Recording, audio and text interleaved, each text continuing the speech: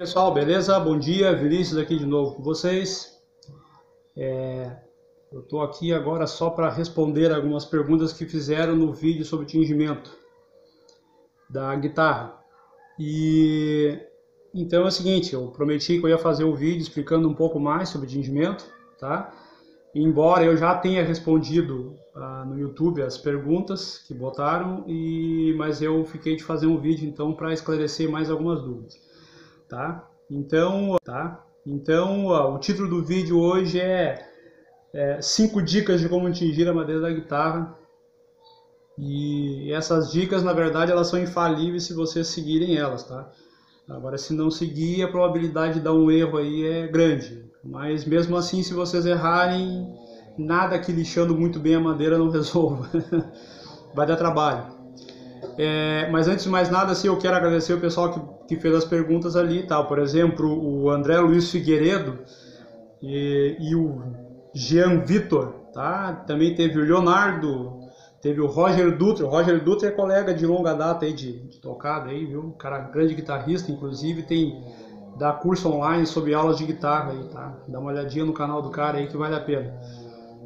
É, mas vamos então às questões aqui tá? E até o final do vídeo, então, eu vou te passar essas cinco dicas aí infalíveis para vocês atingirem tá, o instrumento.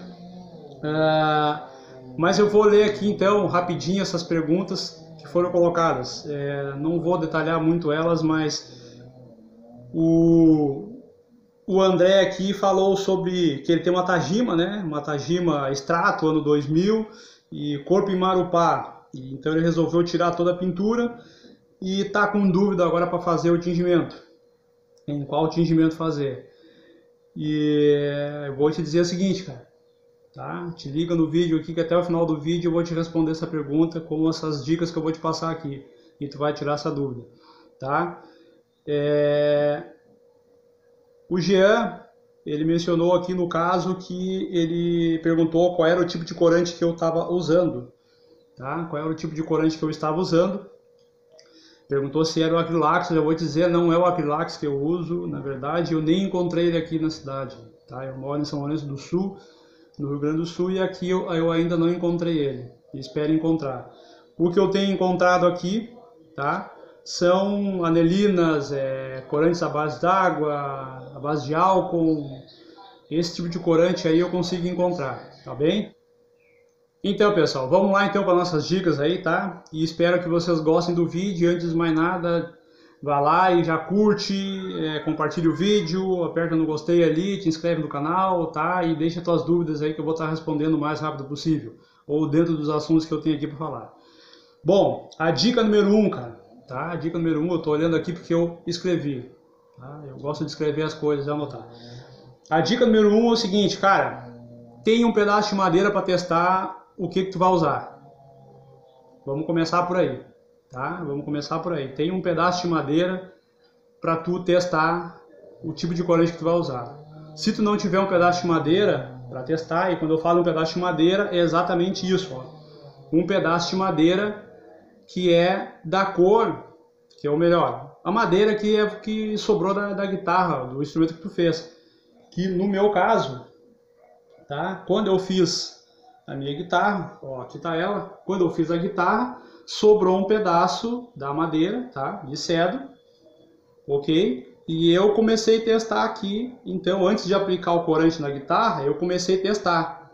Então se vocês olharem aqui, ó, comparando a pintura da guitarra e mais com o teste do corante, olha aqui, ó, eu pude experimentar três tipos de corante aqui.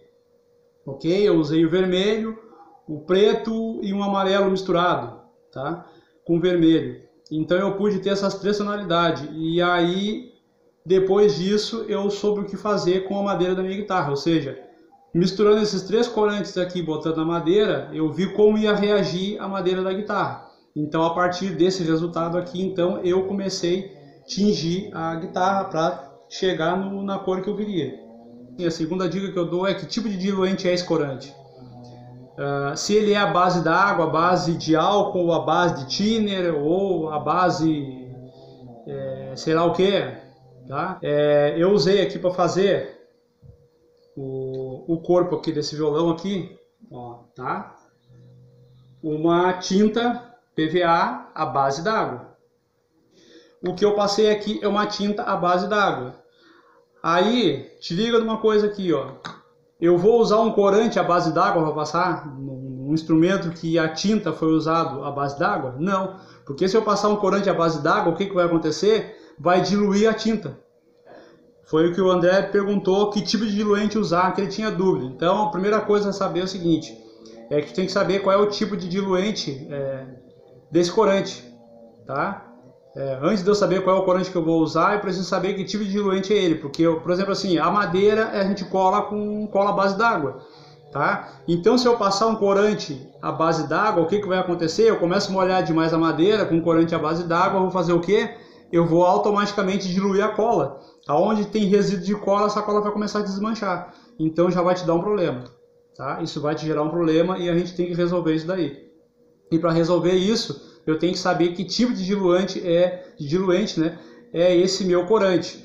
Então eu vou te dar aqui três exemplos. Eu, a anelina, que é em pó, tu pode usar ela com álcool. Pode misturar também com água, vai dar a mesma coisa. Só que, como está usando a tua madeira, está com ela colada com cola à base d'água, então tu não vai misturar anelina com água, tu vai misturar com álcool. E aí tu vai pegar, passar o álcool, tá? Com esse corante então na madeira. Automaticamente esse álcool vai evaporar. Quando tu passa na madeira um corante diluído com álcool, o corante ele fica na madeira, tá? Ele vai ficar na madeira. Ó, como esse braço aqui que eu vou te mostrar aqui agora, ó. o corante ele fica na madeira, tá? E o álcool evapora. Tá? O álcool ele evapora, depois de um tempo ele evapora. O que que acontece? Foi colado com, com cola à base d'água, não aconteceu nada, não houve problema. Tá? Então, isso aí é uma dica que tu tem que te cuidar na hora que estiver fazendo isso. Uh, por exemplo, o, esse corante aqui, ó, o xadrez, ele é um corante muito bom, só que ele é a base d'água. Então, se ele é a base d'água, não é uma boa usar ele para direto na madeira. Tá? No que, que eu usaria esse corante aqui xadrez? Por exemplo, se eu quiser passar uma massa na madeira para pequenas imperfeições ali e eu já quero dar uma cor da madeira, então eu vou usar esse corante aqui que é a base d'água, porque a massa da madeira ela é a base d'água para diluir. E se eu usar esse corante aqui na massa da madeira, a pigmentação vai dar certo, tá? E eu vou usar o mínimo de água possível para amolecer essa massa da madeira e depois aplicar. Essa massa tem que dar, é assim, é, é mínima coisa de amolecimento só para ela ficar maleável para passar na madeira. Então, esse tipo de corante aqui, xadrez, que é a base d'água, ele é muito bom para tu usar com a massa da madeira. Se tu não for usar ele com a massa da madeira, cara, tu vai ter que pegar ele e passar ele puro. Derrama ele na madeira e passa ele com pano puro, porque se tu inventar de diluir ele com água e passar na madeira que tu usou cola, a cola à base d'água vai desmanchar. Então, te liga nisso daí. Tá? O corante de alimento, é... aí o Vitor perguntou se tinha usado o Acrylex, na verdade eu nem sei que, que marca é isso daqui, mas não é o Acrylex, tá? é, mix, na verdade diz aqui mix, tá? E eu comprei quatro básicos aqui, tá? Eu comprei o marrom, o preto, o vermelho e o amarelo. Com esses quatro aqui eu consigo fazer combinações do, do, das cores, tá? Eu consigo fazer combinações das cores e chegar na coloração que eu quiser, tá? Uh, a dica número 3, então, tá? Recapitulando aqui a dica número 2, cara, te liga então na composição do negócio tá? Ah, do diluente dele, porque senão tu pode criar um problema. A dica número 3, cara, a sequência desse corante que tu vai aplicar. O que, que eu quero atingir na madeira? Eu quero escurecer a madeira, eu quero dar, ressaltar os veios da madeira. No caso, quando eu quero ressaltar os veios da madeira, por exemplo, aqui ó, ela já está bem desenhada. Mas se eu quisesse ressaltar mais os desenhos aqui, ó, primeiro corante que eu vou passar é um escuro. Que o corante escuro ele vai entrar nos poros da madeira. Depois que ele está aqui dentro dos poros da madeira, eu vou lixar, que ele vai pretear, vou passar um corante aqui, ele vai pretear isso aqui tudo, vai ficar tudo preto, tá? E aí eu vou lixar a madeira até a madeira começar a aparecer a cor dela de novo, ou seja, aí vai ficar só simplesmente os riscos, tá? Do corante preto que entrou nos veios da madeira, porque não vai lixar o que o está dentro dos veios da madeira, tu não vai conseguir fazer isso. Então, primeira sequência, começa por um corante escuro. Depois do corante escuro, tu vem clareando ele a tonalidade. Então eu comecei com um preto ou um roxo, depois de um preto, eu vou começar, vou voltar para um tom avermelhado, tá? Que ele vai, se a tua madeira já é vermelha, ele vai é, acentuar um pouquinho o vermelho da madeira, tá? Que o preto vai ter tirado um pouquinho, mas embora tu vai passar uma lixa, quando tu passar um vermelho, ele vai criar a tonalidade, a tonalidade de novo. E o amarelo, ele vai dar, na verdade, um perolizado nessa pintura, cara, quando tu passar um óleo depois. Tá? Então, a sequência é, começa pelo escuro e vem clareando o corante.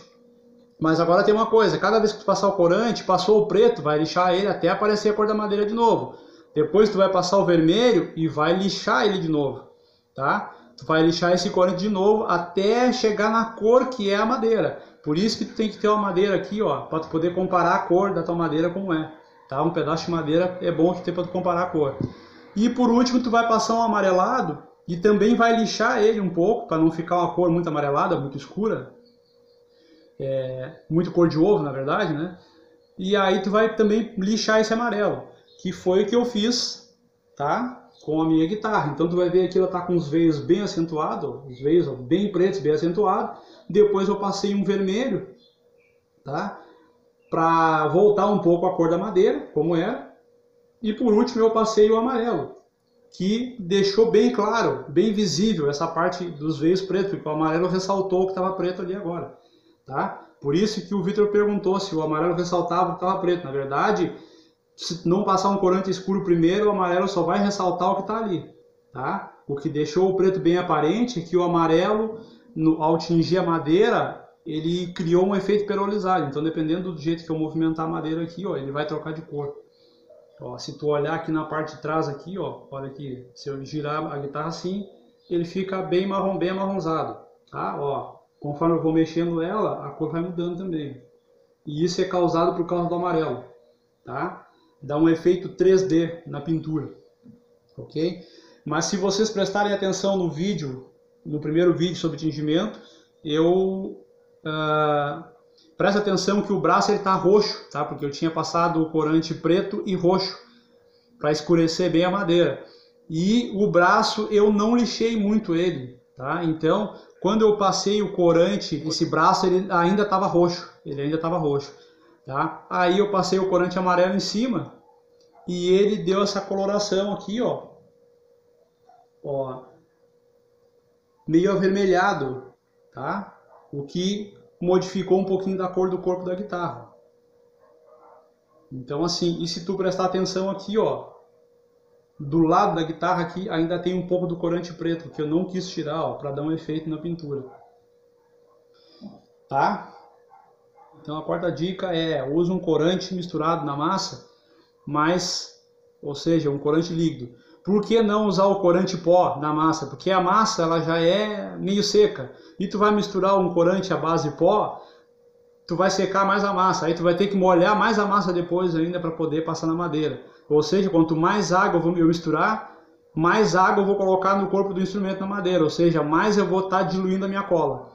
Tá? Então assim, quando for diluir uma, massa passar na madeira, que tu usa então um corante líquido tá? E não usa o corante em pó, porque o corante em pó ele vai endurecer a massa e tu vai ter que quanto mais endurecer a massa, mais água tu vai ter que botar.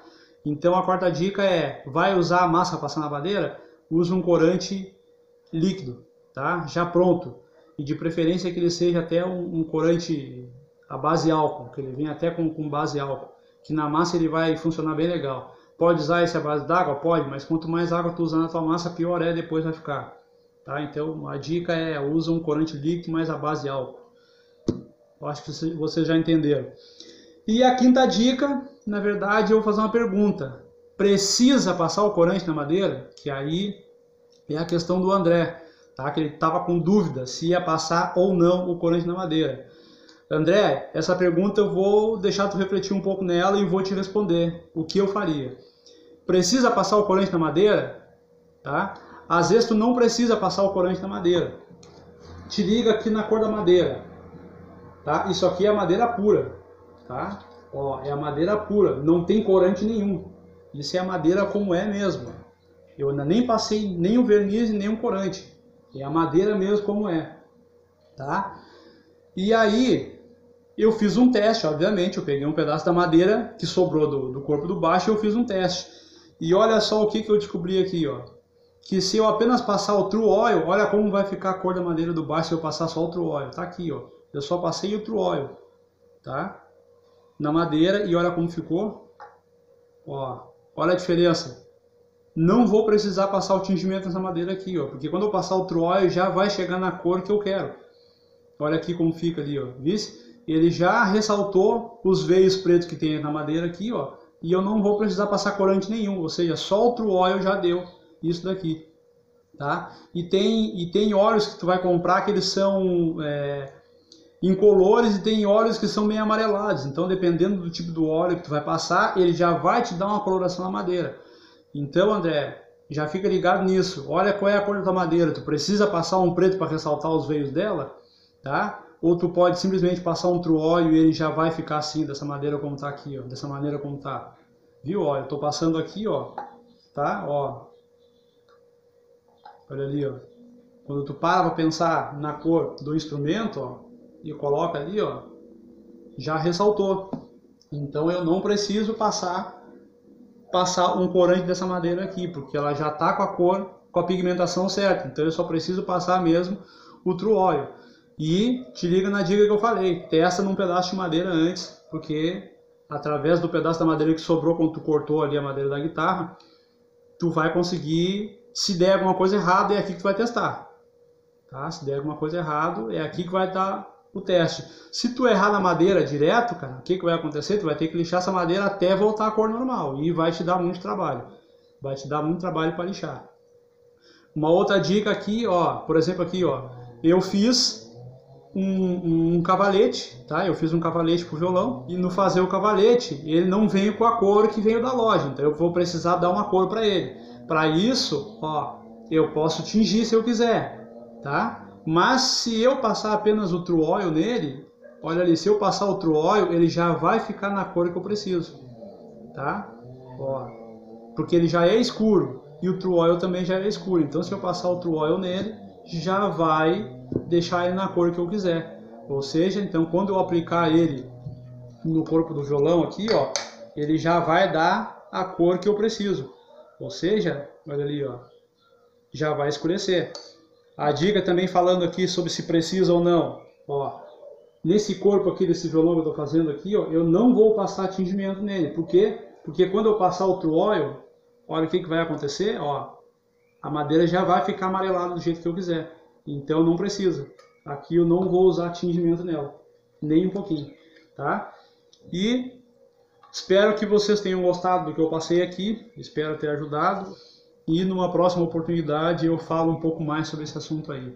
E tendo dúvidas, então, coloca aí nos comentários que a gente vai estar tá respondendo. Aí clica no gostei, compartilha o vídeo, te inscreve no canal, aperta no sininho e até a próxima. Beijos, até mais, tchau, tchau, abraço.